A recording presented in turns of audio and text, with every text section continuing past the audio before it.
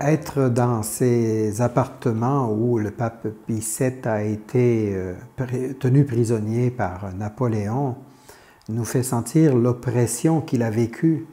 Parce que bien que ce soit que, les apparences euh, de respect de sa dignité soient comme sauves, sauvées par le fait qu'il y a des belles peintures sur les murs, il y a des beaux tableaux, il y a des belles tapisseries, euh, les meubles sont sont de valeur, euh, sont liés à un baldaquin et tout.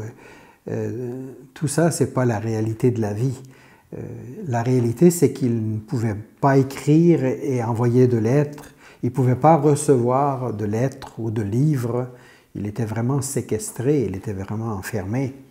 Il ne pouvait pas sortir. Il était sous constante observation. Même dans sa chambre, il y avait un trou qu'on a, a pu voir sur les images par lesquels euh, il était surveillé pour, être certain qu'il était au lit qu'il dormait la nuit. Il ne pouvait pas assister à la messe, il devait assister à une, une, petite salle qui, euh, donnait sur l'église.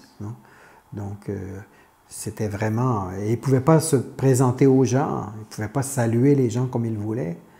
Donc, il était vraiment prisonnier. C'est opprimant de ça. Euh, de, de voir ces appartements.